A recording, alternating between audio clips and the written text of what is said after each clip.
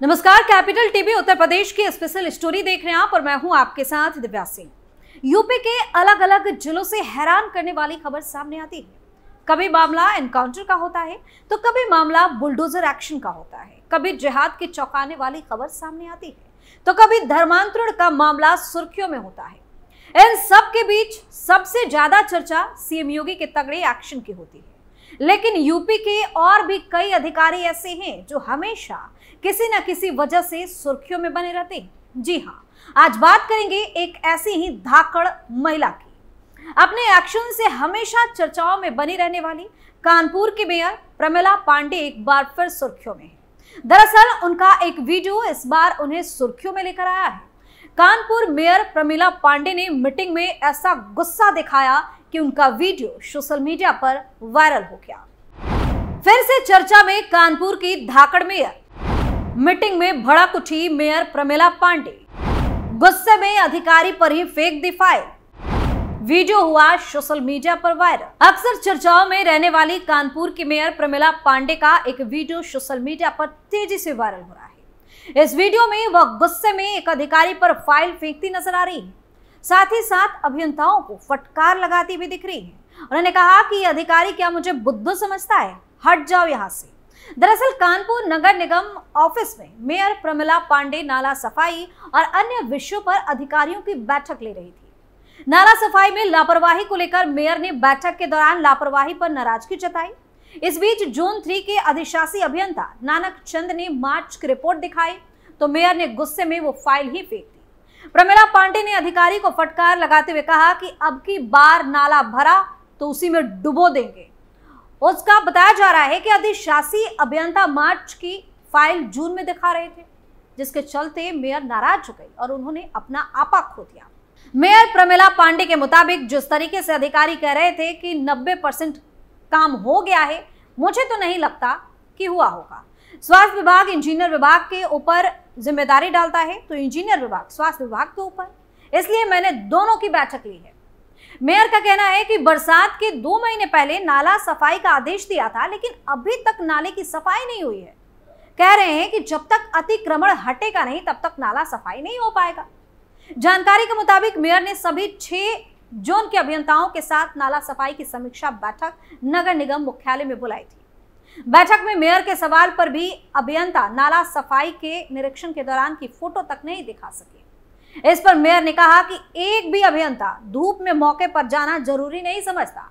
सब एसी में बैठकर नौकरी कर रहे हैं। इस बीच एक अभियंता ने मेयर की रिपोर्ट मांगने पर उन्हें मार्च की रिपोर्ट दिखा दी। मेयर ने इस पर कड़ी नाराज़गी जताते हुए कहा कि नाला सफ़ाई का कार्य मई में शुरू हुआ और रिपोर्ट मार्च की दिखाई जा रही इस पर चीफ इंजीनियर मनीष अवस्थी ने भी कड़ी नाराज़गी व्यक्त फ़िलहाल मेयर प्रमिला पांडे की नाराज़गी वाला वीडियो सोशल मीडिया पर सुर्खियाँ बटोर रहा है। बता दें कि ये पहली बार नहीं है जब इस तरह से मेयर साहिबा का गुस्सा देखने को मिला हो।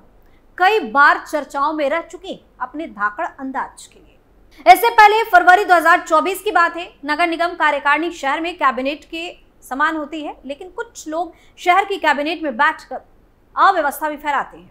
और कुछ ऐसा ही एक उदाहरण कानपुर के पार्षद महोदय बने। जो कि शहर की कार्यकारिणी की बैठक के दौरान नशे की हालत में पहुँच गए थे। उन्होंने कई आपत्तिजनक हरकतें की, जिसको लेकर विवाद भी बढ़ गया। ऐसे में वहाँ मौजूद महिला पार्षद भी असहज हो गई। इसको लेकर कानपुर के मेयर प्रमिला पांडे ने भी नाराज़गी जारी करते हुए पार्षद को सख्त चेतावनी दी थी। दरअसल, कार्यकारिणी की बैठक में बीजेपी पार्षद अशुमेंद्र प्रताप सिंह नशे की हालत में पहुँच गए। उनकी स्थिति देख अफसर कार्यकारिणी के अन्य सदस्य पार्षद भी असहज हो गए। नगर आयुक्त शिव छनम्पा जेन ने आपत्ति जताई तो उन्हें सबसे अलग बिठा दिया गया। इस मामले को लेकर मेयर प्रमिला पांडे भी पूरी तरह से भड़क गई। इस घटना का वीडियो सोशल मीडिया पर तेज़ी से वायरल हुआ था। पार्षद ने हद तब कर दी जब समिति कक्ष में हो रही कार्यकारिणी की बैठक से बाहर निकले और महिला पार्षद कक्ष में घुस गए। इस घटना को लेकर प्रमिला पांडे ने बताया कि पार्षद को चेतावनी दी गई है कि दोबारा इस तरह की हरकत पर उन्हें सदन से भी निष्कासित किया जाएगा।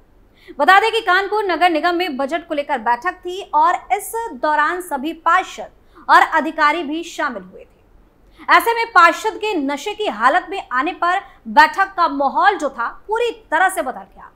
बजट के ऊपर बुलाई गई बैठक पार्षद की हरकत पर सिमट कर रह गई। इसको लेकर महापौर काफ़ी ज़्यादा गुस्से में नज़र आई गौरतलब है कि कानपुर के मेयर प्रमिला पांडे भी अपने हनकदार और दबंग रवैये को लेकर अक्सर चर्चा में बनी रहती है। इससे पहले 16 जून 2023 की बात है जब कानपुर में पेड़ कटने और मलबा ना उठाने से नाराज़ महापौर। प्रमिला पांडे भड़क उठी भीषण गर्मी में अफसरों को अनोखी सजा दे दी। न सिर्फ़ कमरे का एसी और पंखा बंद करा दिया, बल्कि नाश्ता भी लौटा दिया। मेट्रो और वन विभाग के अफसर एक घंटे तक अपना पसीना पोछते रहे। जिला वानिकी अधिकारी ने जब कहा कि जो पेड़ काटे गए हैं, उसके बदले पेड़ शहर में ही लगाएँगे और घरों के बाहर पड़े जो तने हैं, जल्द उठा दिए जाएँगे। इसके बाद ही अफसर बैठक से बाहर निकल सके। जुए से नौबस्ता के बीच मेट्रो कॉरपोरेशन ने 118 पेड़ काटकर मलबा लोगों के घरों के बाहर ही छोड़ दिया था। ऐसे वाहनों को निकलने में काफ़ी ज़्यादा दिक्कत हो रही थी, असुविधा हो रही थी। शिकायत महापौर प्रमिला पांडे तक पहुँची तो उन्होंने यूपी मेट्रो रेल कॉरपोरेशन नगर निगम और वानिकी अधिकारियों को बैठक के लिए बुला लिया। नगर निगम मुख्यालय में बातचीत के दौरान महापौर ने सवाल पूछा तो मेट्रो अफसर मोहित बंसल और ब्रजेश वर्मा बोले कि जूही पुल से नौबस्ता तक 118 पेड़ काटे गए थे।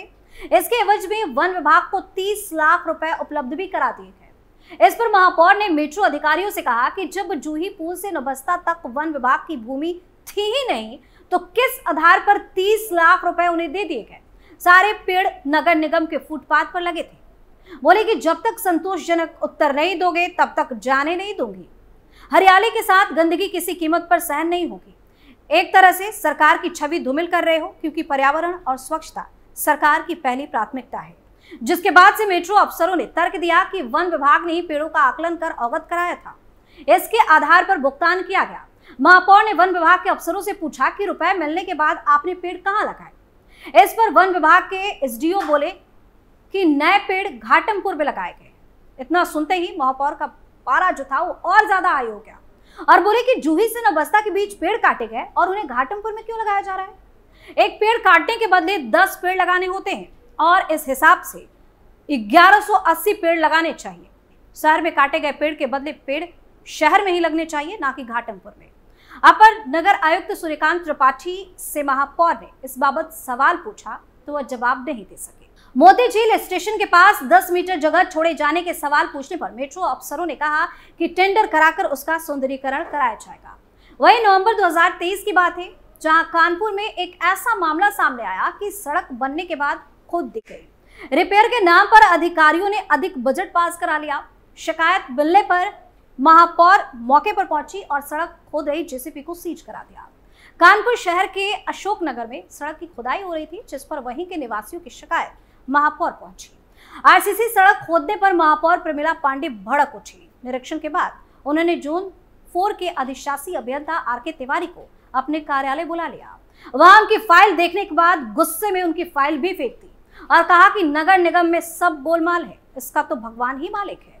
महापौर ने अधिकारियों को फटकार लगाते हुए कहा कि अगर आरसीसी रोड कहीं उखड़ी थी तो उसको रिपेयर किया जा सकता था। अगर रिपेयर किया जाता तो कम पैसा खर्च होता।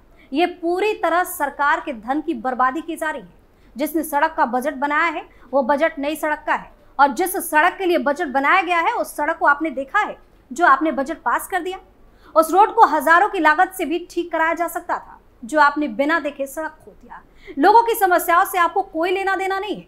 मौके पर गए थे कि ऐसे ही बजट पास करा दिया। किसने कहा था बजट पास कराने के लिए? बताओ।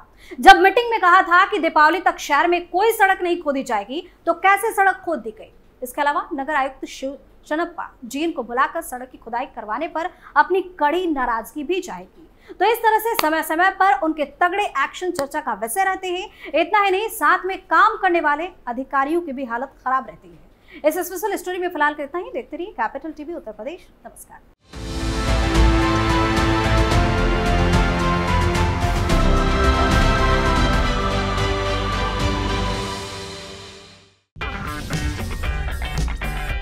अगर आपको हमारा वीडियो पसंद आया हो तो इसे लाइक करें हमारे चैनल को सब्सक्राइब करें और हाँ बेल आइकन दबाना ना भूलें, ताकि आप तक हमारे वीडियो की नोटिफिकेशन पहुँचती रहे।